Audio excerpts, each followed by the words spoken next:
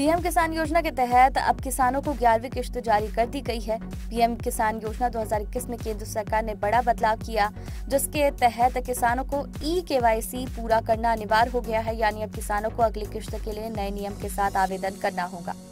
केंद्र सरकार ने किया ऐलान। केंद्र सरकार ने अब योजना का लाभ पाने के लिए अनिवार्यता ई केवाईसी की डेडलाइन बढ़ा दी। पीएम किसान पोर्टल पर इसकी जानकारी दी गई है। पीएम किसान वेबसाइट पर एक फ्लैश के अनुसार सभी पीएम किसान लाभार्थियों के लिए ई केवाईसी की समय सीमा 31 जुलाई 2022 तक बढ़ा दी गई है। पहले इसकी डेडलाइन 31 मई 2022 थी। ई केवाईसी के बिना नहीं मिलेगा पैसा।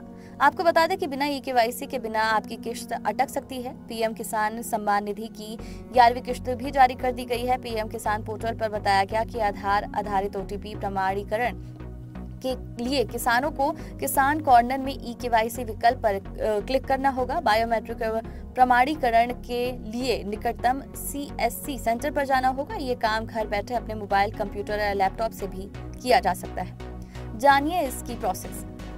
आधार आधारित ओटीपी प्रमाणीकरण के लिए किसान कॉर्नर में ई केवाईसी विकल्प पर क्लिक करें। बायोमेट्रिक प्रमाणीकरण के लिए निकटतम सीएससी केंद्रों से संपर्क करें। आप इसे घर बैठे भी मोबाइल, लैपटॉप या कंप्यूटर की मदद से कर सकते हैं। इसके लिए सबसे पहले आप PM Kisan dot G O V dot in के पोर्टल पर जाएँ। दाएँ हाथ पर आपको इस तरह के टैब्स मिलेंगे। सबसे पहले ऊपर ई के वाई सी लिखा मिलेगा। इस पर क्लिक करें।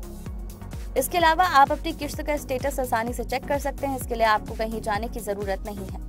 अपनी किश्त का स्टेटस चेक करें। अपने किश्त का स्टेटस देखने के लिए आप सबसे पहले पीएम किसान की वेबसाइट पर जाएँ।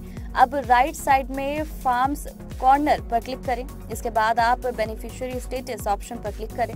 अब आपके पास नया पेज खुलेगा। यहाँ आप अपना आधार नंबर मोबाइल नंबर डालें। इसके बाद आपको अपने स्टेटस की पूरी जानकारी मिल जाएगी।